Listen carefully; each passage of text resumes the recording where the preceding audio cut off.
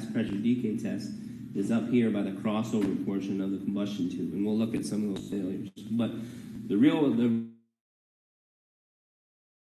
real concern, some odd reason you don't have a good spray pattern, if fuel is able to pool inside of this combustion tube, this inner liner, it's able to build up a little bit of fuel, it starts to leak out a crack, and it's able to get into ducting that is, uh, the ducting is really uh, a big part of the problem because the ducting does not resist heat now that it's 50 years old or so. There are safety switches on the heater that keep it from over, I mean, there's an overheat switch. If it reaches 400 degrees, that'll pop that switch, it'll shut the ignition down. There's an upper limit switch that's supposed to regulate it at around 250 degrees. But these switches go bad uh, oftentimes. Uh, they just have spring steel in them that actuates them, and that spring steel gets pitted and it gets rusty. Uh, and a lot of times the points also will arc. The points arc, then you have this switch uh, not performing any kind of safety function. Um, the overheat switch is only as good as the fuel solenoid, so if this trips, shuts the fuel solenoid down. If that solenoid is uh, past overhaul date, uh, the, the gaskets, the O-rings, the, the seals um, on the plunger, everything's dried up and brittle, and it won't, it, most of the time, or a lot of times, it won't stop the fuel from running into the can, even though your safety switches have tripped. Uh, another concern uh, in the AD that they uh, we've been talking about, AD is 810909, uh, this combustion air switch. Uh, this is made that if there's not enough airflow to burn, to get a good burn, a, a clean burn, this switch is supposed to actuate and shut off all components that would allow for burn, including fuel and ignition. Um, these switches also are getting old; they're just past their prime. There's no time date on these heaters, uh, so nobody, uh, unless it's overhauled by a, a repair station that knows what they're doing, nobody many times knows to look at these switches very well. Uh, and instead of clicking up at a third of their throw, uh, many times they'll, they'll click open or they'll hold open. Uh, and again, that safety feature is also uh, no longer effective. Okay.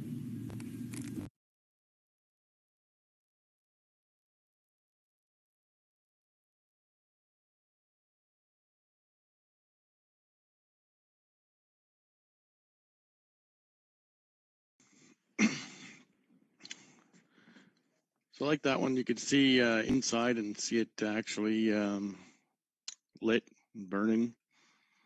So you can see what the uh, the Janitrol. and again, that one dealing with the uh,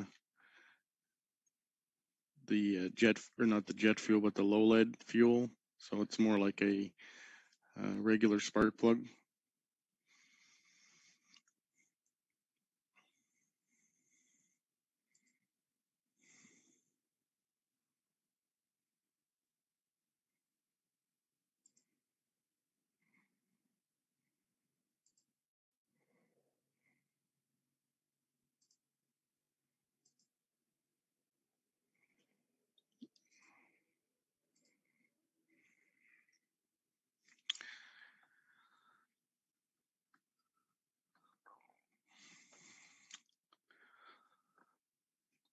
So for next week, we're going to get into um, some troubleshooting, and we're going to troubleshoot um, the 310 uh, flap system for um, the electrical side. So what I wanted to do was just give you a little bit of uh, information on the 310 flaps, so you have an understanding how they work before you get into the troubleshooting. So if you aren't sure, there's the 310, Cessna 310, which is a twin engine uh, aircraft, which we did have. Um, we don't have it anymore, but um, so the 310 has the the flaps that come out of the uh, trailing edge. So we can see this. So it has electric gear and it also has electric flaps. So the flaps come down again out of the trailing edge of the, the wing.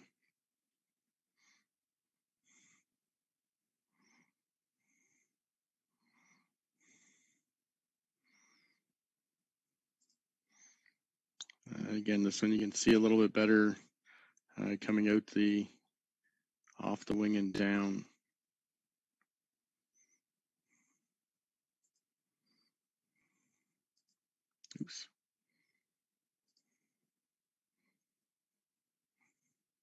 So again, looking from the back, you can see them uh, sticking down.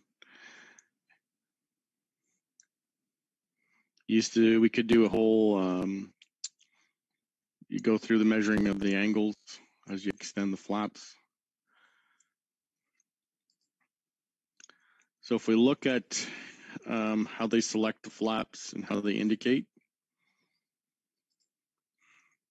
So looking at the the dash, you can see we have um, the switch. Um, we have a a setting, so you up uh, 15 to 35 degrees. And again, the selection switch goes down and um, selects the flap setting.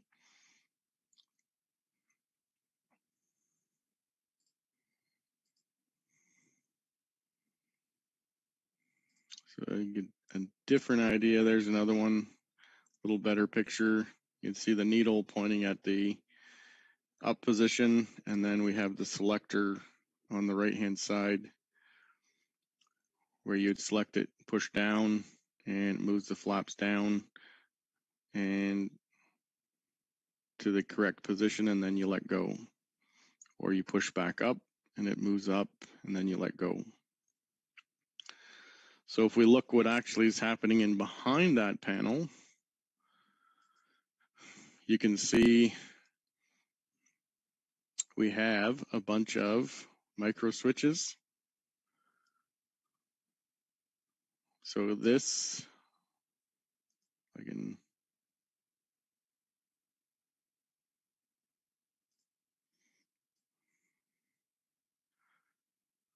This right here is your selection lever.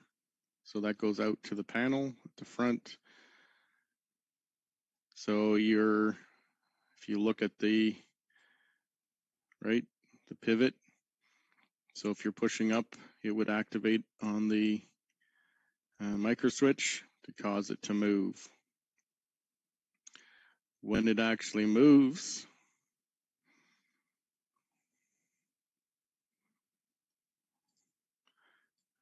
this lever actually physically moves up or down. How it does that is by this this cable right here. So this cable is routed down through the panel, through the floor, and back to the mid floor where the flap motor is. This is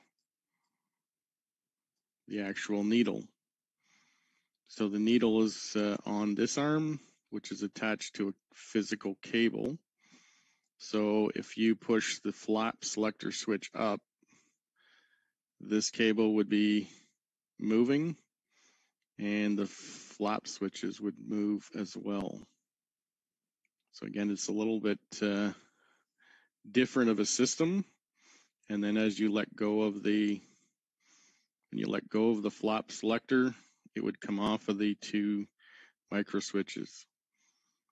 So these two switches are the up and the down. And as you push the, the lever, it's going to hit one or the other and cause it to physically move the, the switches as well. And also it's moving the indicator.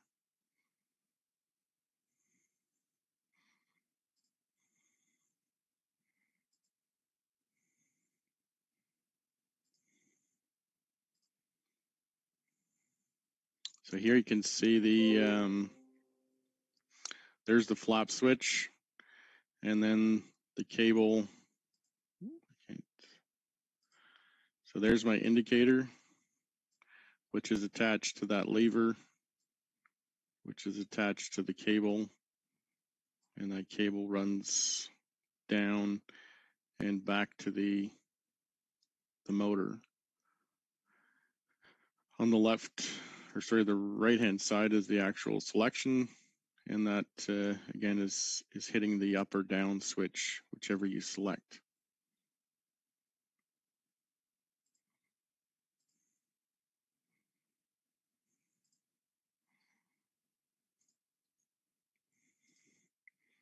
So if we look into the uh, the center of the floor, we have a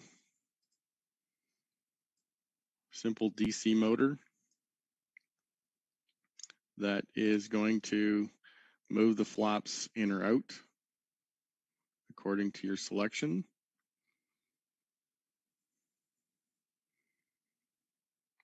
So now this works off of a chain. So the motor actually has a chain that goes to either side of the, the wings to move the flaps together. I think the next one uh, shows you what uh, what you need to see in this one. You can see this right here. Um, you'll notice the bolts have um, a, a slot. So if you can see right there, that's a micro switch. So those are the uh, up and down limit switches. So they're adjustable. So you have to adjust those to make sure that you've hit the up limit or the down limit according to the angles, which is important, or you start to damage things, right? Moving micro switches. So this one shows you, you can see the chain, kind of the chain gears on the teeth of this uh, motor. That's the front side. So we got one chain going one direction and a chain going the other to move the uh, the flaps. This one you can see there's your micro switches again, depending on the movement. And there's the chain drives that go out to the wings.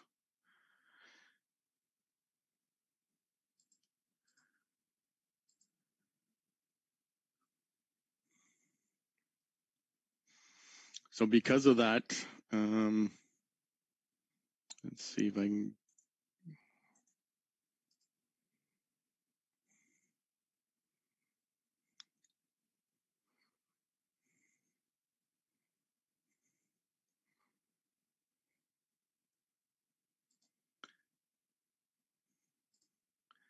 So how does it actually work?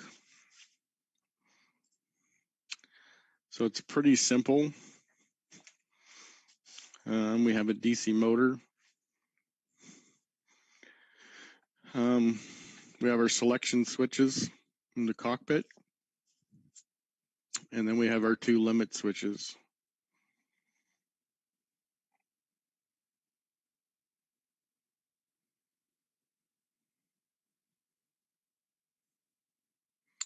So we got power coming from our main bus through our 10 amp breaker Notice we got uh, labels on the wires, C16B20.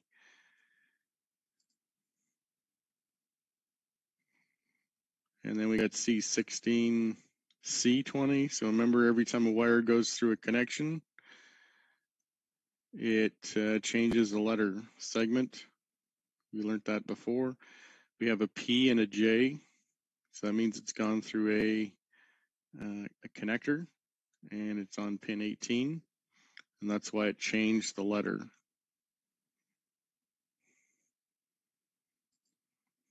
So voltage comes through, goes to the first um, switch, and it also feeds the other switch.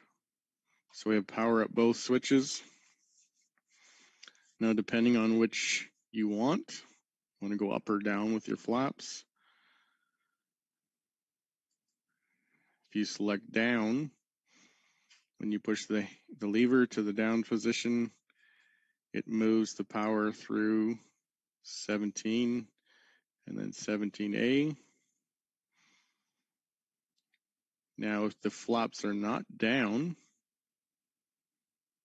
then the limit switch would be connected So the limit switch is connected and we apply power to the motor. So the motor will turn one direction and it has a ground. So the motor is allowed to turn that direction. And then once the motor has fully moved the flaps, it pushes the micro switch and opens the circuit. So now it can't go down any further. And even if you select down again, um, the limit switch has has caused it not to go any further. So again, very important that the limit switches are adjusted correctly.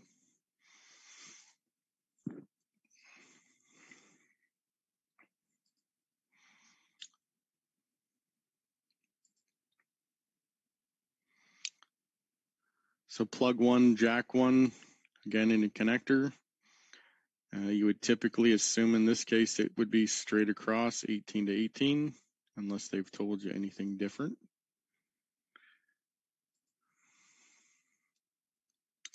Um,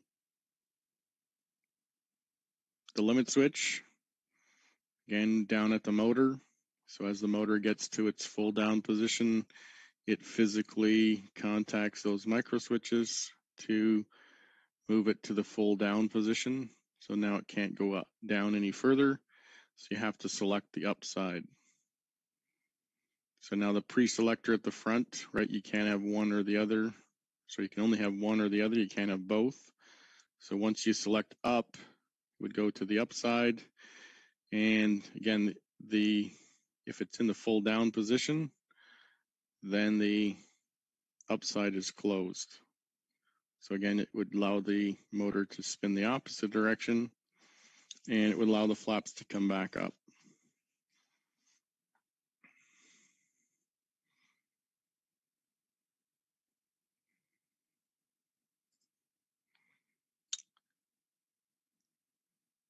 So some of the tools we talked about before, right? If you know what works and what doesn't work, that can give you a lot of information. So if you know it does half of the job or the other half, that can tell you a lot of things about the circuit. Um, we talked about testing, right? Voltage is usually your first choice because it's simple and easy. It's quick. You can quickly go to voltage measurements, and that can tell you um, basically the right area or the right component to check. Once you narrowed it down to a component, most likely then you can pinpoint it exactly by using resistance. Remember to turn your power off and check your resistance. Again, once you're close, um, that could confirm your your guess. Is that the right problem? Uh, current, again, it's usually specialized circumstance. Why would I need current? Um, only if it's a, a situation where you're drawing excessive current or currents leaking all the time, draining your battery. So your two main things would be voltage and resistance.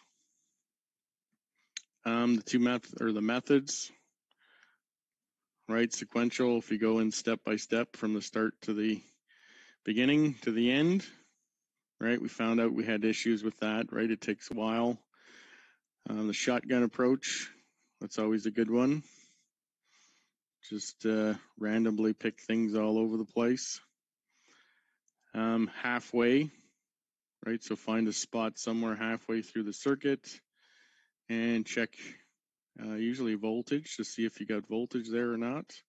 And then you have basically a direction to go. Can I go continue on or do I need to go back halfway? Um, Ford troubleshooting really hasn't worked yet. They still don't work well. No comments, so.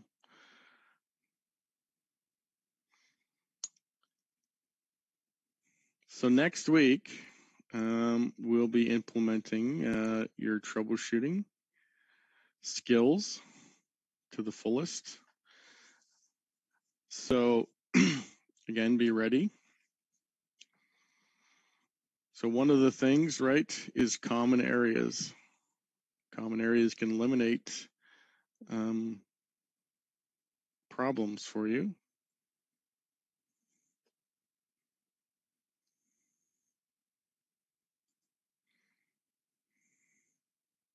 So if one side works, but not the other, you could tell me that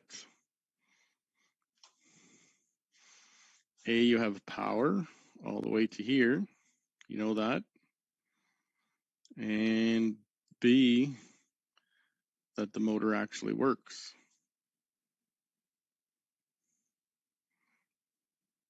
So again, by uh, looking at what information is given to you or what information you can get by uh, testing the problem, that can get you to a good area to start.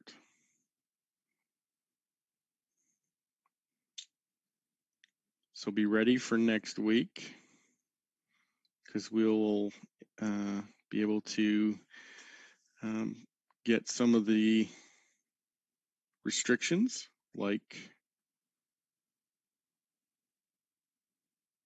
time, right? What was another constraint that had issues when troubleshooting?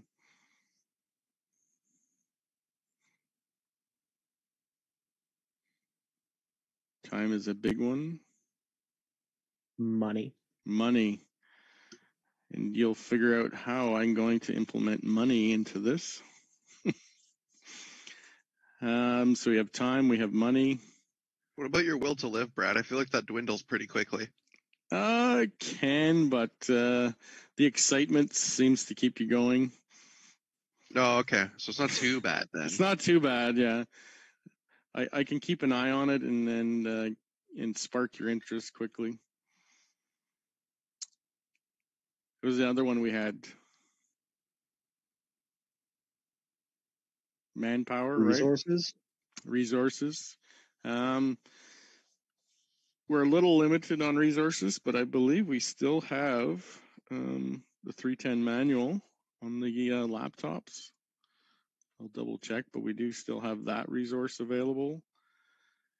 Um, if you're real serious, you could uh, take a field trip to the paintball paradise and look at it yourself. Um, now that we don't have it, but uh, that was a good one when it was here. You actually had the aircraft you could go look at.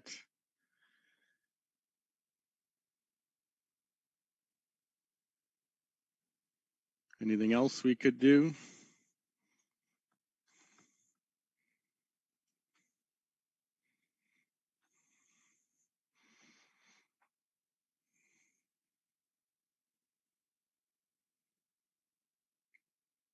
What about that? Uh, talking to the old guy, right? Someone that's worked on it.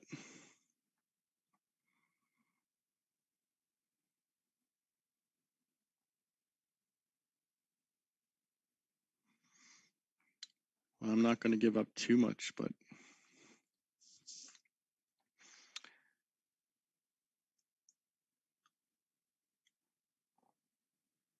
so I did open up another section on the Janitrol as well, if you didn't notice. Um, so I'll upload that um, PowerPoint so you have it, so you can go through it again um, to see how it works. Your quizzes are due tomorrow. So there's two. Thanks uh, for all the information you guys gave me that the troubleshooting quiz was not even on last week. So I put them both on. It was hidden. I thought it was all there, but you guys never told me. Thinking you get out of it.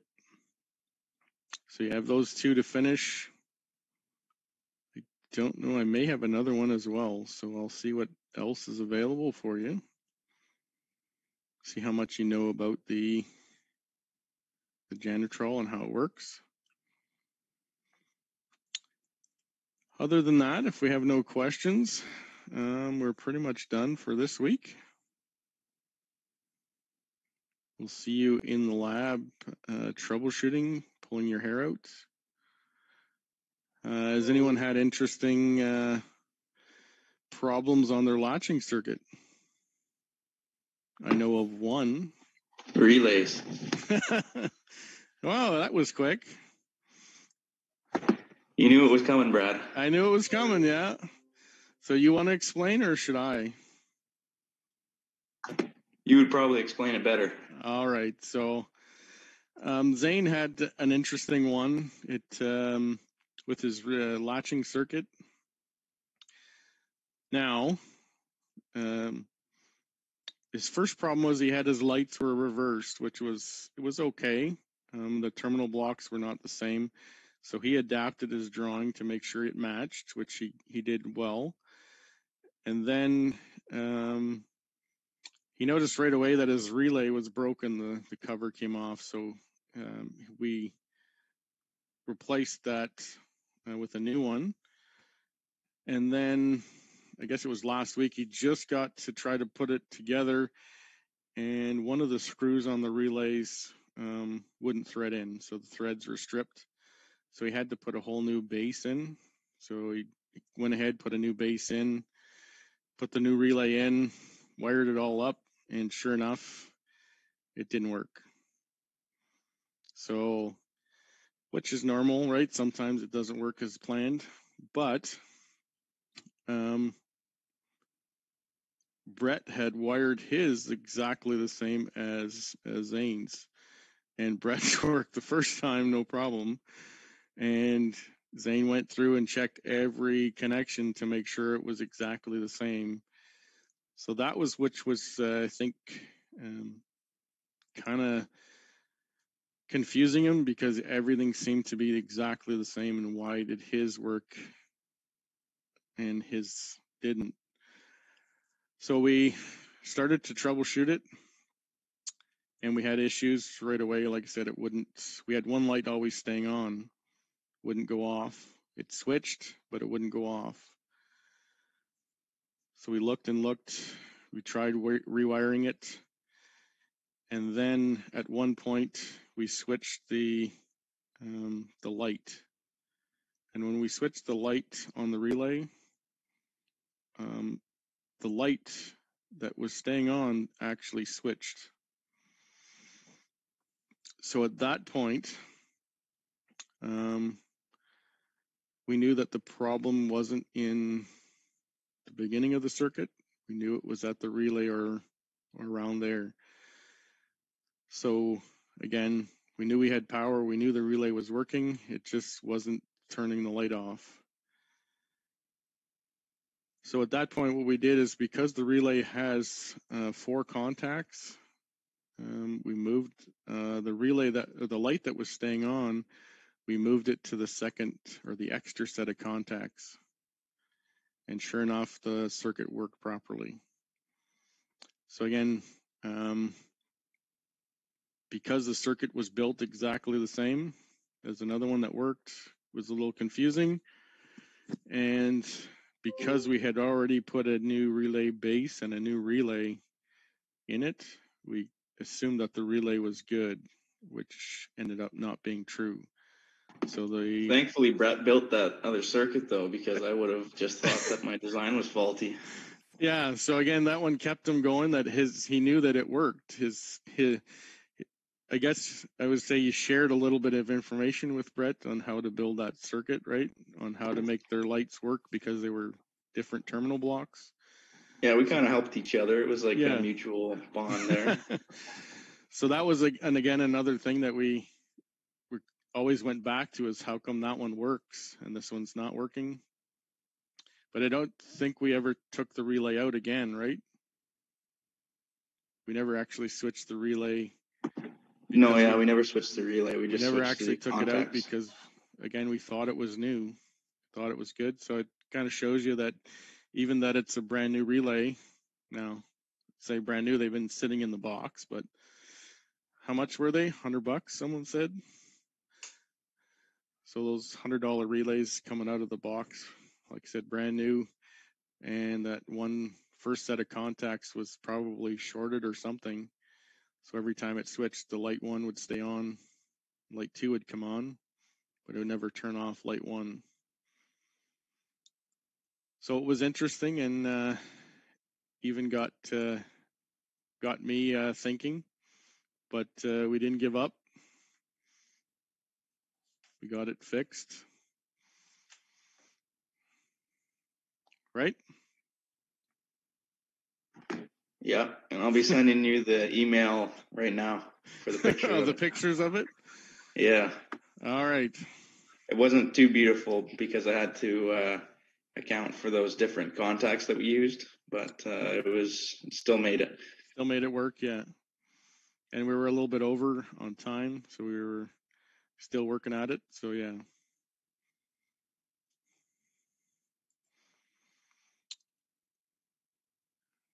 Anyone else have some interesting uh,